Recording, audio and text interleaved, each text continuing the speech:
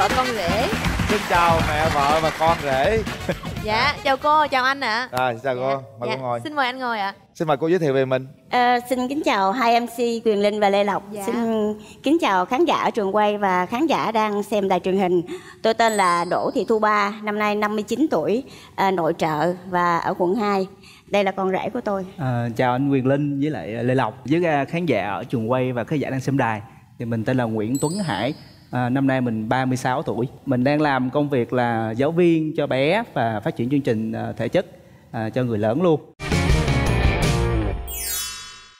À, cái ngày đầu tiên mà cô thấy cái con rể mình à, xuất hiện á cô có nhớ điều gì và ấn tượng à, chàng rể này không? Cô có một cái ấn tượng á, thì khi con gái cô Ờ, uh, dẫn rể về nhưng thực tế là không có ra mắt mà chỉ tới nhà chơi thôi thì cô ở trên lầu cô nhìn xuống thì thấy à, anh chàng này nè quàng một cái khăn quàng cổ cái thời điểm đó thì buổi chiều khoảng à, tầm 6 7 giờ cô ấn tượng nhất là lúc đó cô bị ủa sao nam mà lại quấn khăn quàng cổ? Nhưng mà cái đó hình như nó là một cái phong trào của giới trẻ. Cái là thời tiết thì không lạnh nhưng mà hiu quấn để cho nó nó đẹp hoặc là như thế nào đó. Quấn Thì- cho đổ mồ hôi chơi á cô. Hai cháu quen nhau một thời gian á thì cô nhớ hôm đó là mùng 6 Tết thì Hải có nói là à, đưa để đưa ba mẹ qua là ừm, chúc Tết thôi mình cũng không ngờ thì khi ba mẹ Hải qua thì nói chung là bên gia đình Hải là chuẩn bị sẵn hết rồi. Qua sau khi chúc Tết xong xuôi là đặt vấn đề là xin cưới rồi đã coi ngày luôn à, đám hỏi ngày nào và đám cưới ngày nào luôn thịt lúc đó thì cô cũng còn đi làm mà nhà thì cũng đơn chiếc hai vợ chồng thì cô có một đứa con trai á nó đang đi du học nước ngoài mà nhà đơn chiếc chỉ có con gái thôi á thì nên cô mới à, nói với ông bà xui á mình không dám nói là cái từ bắt rễ mà mình chỉ nói là anh chị xui là à, cho hai cháu nó chạy qua chạy lại. Cô thì ở quận 2, nhà Hải thì ở quận Nhất thì cũng gần. À, cô chỉ nói vậy á thì à, anh xui mới nói như thế này nè thì nếu anh xui mà có xem chương trình á thì em cũng xin lỗi nha em kể lại câu chuyện á. Anh xui nói vậy nè cô ba đừng có sợ tôi đây nè tôi cũng làm rể á mà hàng xóm á tưởng tôi là con trai. Đó cho khi mà anh xui nói vậy cái tự nhiên mình thấy mở lòng mình thấy rất rất rất là thoải mái.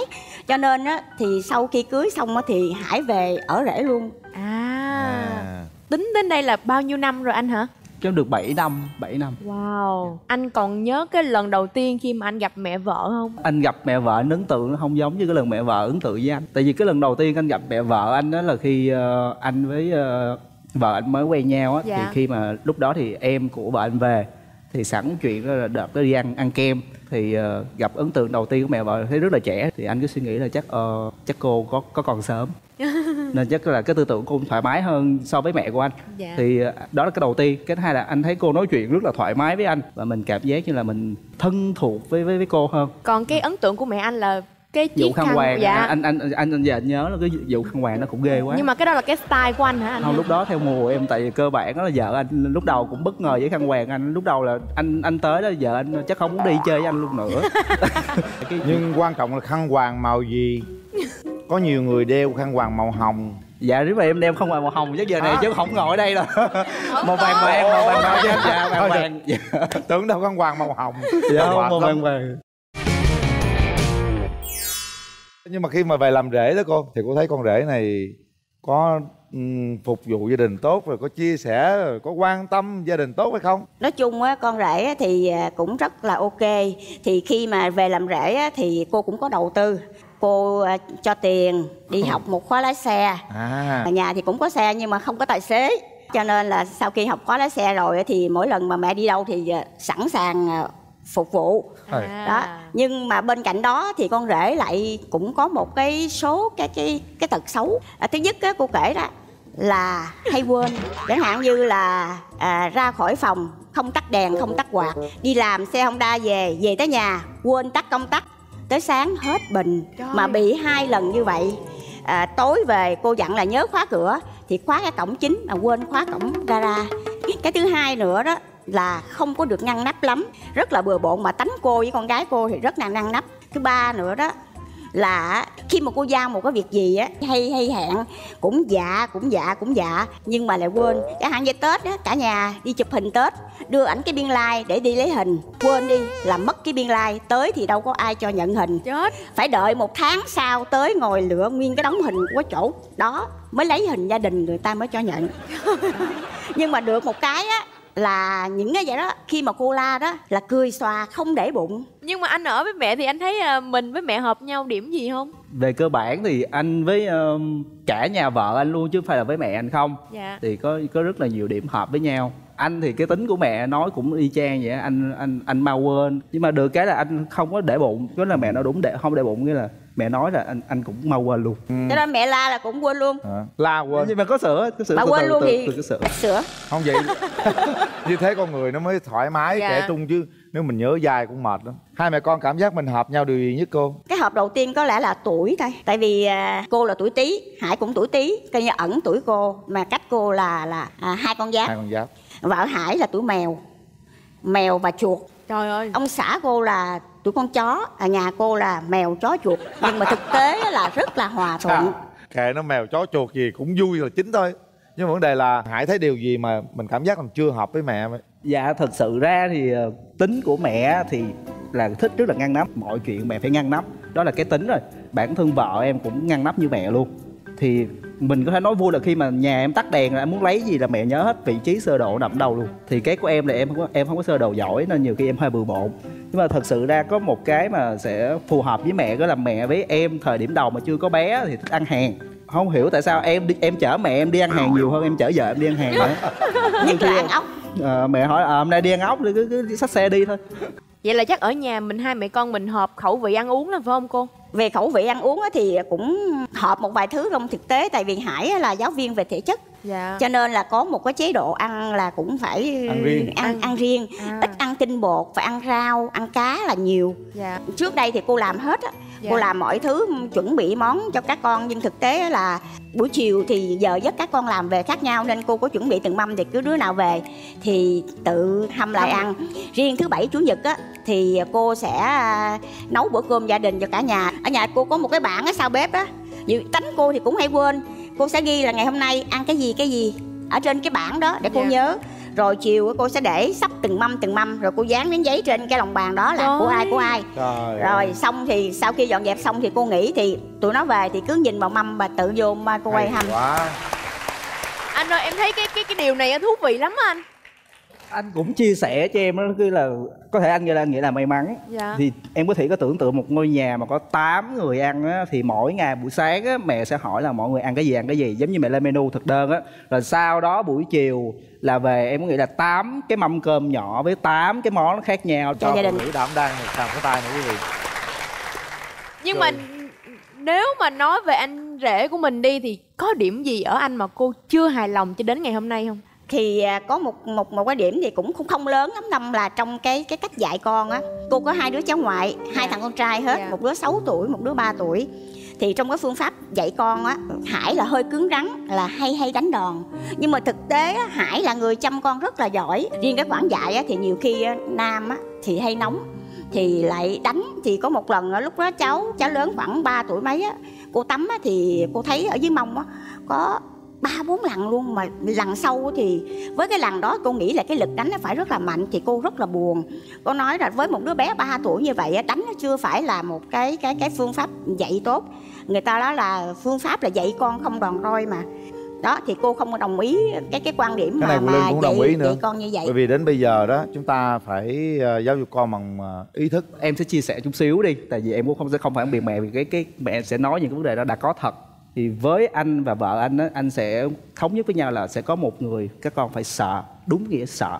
Và một người sẽ nói chuyện với các con. Thì cái phương án sợ cuối cùng anh sẽ là người ôm phương án đó. Mặc dù từ nhỏ lớn anh sẽ là người chăm các bé. Bé bị gì anh sẽ biết hết. Và bé phát triển gì anh là người mà sẽ định hướng cho bé phát triển. Nhưng mà anh phải đóng vai cái người là để bé sợ. Thì thì ác ha. Dạ vâng, đúng về em. thì gia đình của em có hai nguyên tắc là em sẽ không bao giờ chấp nhận con em nó vi phạm. Thứ nhất là hỗn. Cái thứ hai là không biết tôn trọng cái người lớn tuổi hơn mình. cái việc đầu tiên em đánh em nóng giận là có nhưng mà cái nguyên tắc đánh của tụi em đó là cho bé nằm xuống nói lỗi của bé và quýnh thật đau để bé nhớ. Không có quýnh lộn xộn nóng giận tác ok ở đây không có vấn đề đó. Thì em có thể chia sẻ với các ờ, uh, cái phụ huynh của mình như thế này. Em học về thể thao. Với cái khu vực mà ở mông á dây thần kinh nó cũng rất là nhiều nhưng mà nó sẽ không ảnh hưởng gì đến các bộ phận hoặc các khiếm khuyết cơ thể nếu mình quá nóng giận một số người uh, tán con hoặc là đánh đại đánh bừa thì đó em không đồng ý. Nhưng mà khi em bắt nằm xuống đánh bé sẽ nhớ rất lâu vì cái thật sự là cái mông em thần kinh nó rất là nhiều. Và tác dụng nhiều đó nó sẽ rất là nhớ nhưng mà nó không ảnh hưởng gì hết. Thì đó là nguyên tắc của em là em thể đếm là bé lớn em quýnh hai lần và bé nhỏ hiện tại bây giờ là 3 tuổi em quýnh một lần. Có nghĩa là anh đánh nhưng anh vẫn nhớ số lần anh đánh và lý do tại sao anh đánh. Còn ngoài ra thì anh vẫn phải tôn trọng sự quyết định của bé anh vẫn hỏi là con muốn cái gì? Và tại sao con làm như vậy? Đó là hai câu hỏi đầu tiên nhưng mà với nguyên tắc hổm là đánh không nói nhiều. À, nói chung là mỗi người sẽ có cách dạ, dạy con nhưng mà chúng ta không khuyến khích là đánh con. Dạ. À, cho dù à, đánh ở đâu chúng ta cũng không nên khuyến khích. Hồi xưa thì ông bà ta hay đè xuống lấy cái cây roi mây đó đánh vô mông sao cho nó ấy. Không quyền Dạ. linh có tin rằng là nhà cô có hai cây roi mây. Dạ. mà hai cây roi mây đó, đó là từ thời mấy chục năm về trước mà ờ, cô với chú ờ, dùng để dạy hai đứa con. Truyền thống Và đó. cô để cho tới bây giờ và hai cái roi mây đó đó là sử dụng là bây giờ là để hải phòng hải một cây mà để phòng cô một cây. Nhưng thực tế á cô thì cô chưa bao giờ. Có nhiều khi mà cầm là dọa thôi. À, chứ dọa thực tế thôi. là cô hồi đó giờ từ nhỏ lớn cô chưa đánh. Nhưng mà để cái đó để dằn mặt hai vợ chồng nó. Tụi bay cãi nhau là nhìn roi mây nha. Có khi nào hai chồng cãi nhau mình dùng roi mây mình dọa chưa? Không nó đóng cửa nó cãi. Cô không quan cô không quan tâm chuyện đó. Tự xử hai vợ chồng tự xử. Thật sự để ở rể rất là khó có những chàng trai mà tự ái á, không ở rể được đâu. Ở rể chúng ta phải thật sự thương cha mẹ, vợ. Thật sự hiểu được cha mẹ, vợ, thì chúng ta mới ở được. Bây giờ để xem coi vợ em nói điều gì nha. Tính tình của mẹ và chồng thì thực sự là rất là khác biệt. Mẹ thì rất là ngăn nắp, làm việc thì lúc nào cũng có kế hoạch. Còn chồng thì thật sự là rất là hay quên và nhiều khi là mẹ nhắc hoài mà vẫn là không không bao giờ nhớ cả. Nên thật sự là mình là người đứng giữa thì cũng thật cũng cố gắng là dung hòa giữa mẹ và chồng. Qua chương trình này thì uh, con có rất là cảm ơn mẹ là um, con biết là những gì mà mẹ ờ, nhắc nhở cả chồng và cả con. Thì thực sự là đều muốn tốt cho cho cả hai vợ chồng cũng như là cho các cháu còn uh, nhắn gửi với chồng thì thật sự là có gì là cũng đã. Ngày nào cũng nói ngày nào cũng nói đi nói lại hết trơn rồi. Thì là cũng mong anh là mình uh, chú ý hơn chút xíu. Uh, nếu mà mình không có nhớ thì mình uh, để nhắc nhở ở trong điện thoại. Rồi uh, ngăn nắp hơn nữa để mình cũng làm gương cho cho hai con ở nhà. Vợ em nói đúng không? Dạ dạ em à nói chung là ở chàng rể này không có gì gọi là sai sót lớn đâu chỉ có hay quên thôi. Nhưng mà ngày hôm nay thì à, cô có điều gì mong muốn anh thay đổi không? Thì ờ, trước mắt á, thì ờ, qua chương trình này á, thì nói chung là mẹ cũng kể hết các tật xấu của con rồi. Cũng như như vợ con cũng đã nói chia sẻ thì mẹ chỉ nhắc á, là cái vấn đề là hay quên. Và thứ hai á, là ngăn nắp trở lại. Và thứ ba chẳng hạn như mẹ kêu làm cái gì á thì việc gì làm được hôm nay chớ nên để đến ngày mai mới làm. Cô cũng muốn chia sẻ với những cái chàng trai mà mà sau này mà nếu mà cưới vợ đó có làm rể á thì mình sống thật tâm với mẹ ba mẹ vợ thì những cái tình cảm của ba mẹ vợ cũng sẽ dành y như là con trai. Hay quá. Em cũng muốn nói điều gì với mẹ? Cái lời đầu tiên em muốn nói thật sự là, em cảm ơn ờ, chương trình đã cho em một cái cầu nói thực sự là cầu nói giữa em với mẹ vợ em. Vì nhiều khi công việc bận rộn, cái cái guồng nó quay á, thì mình sẽ khó thời gian mình gặp, nhưng mà mẹ luôn luôn âm thầm.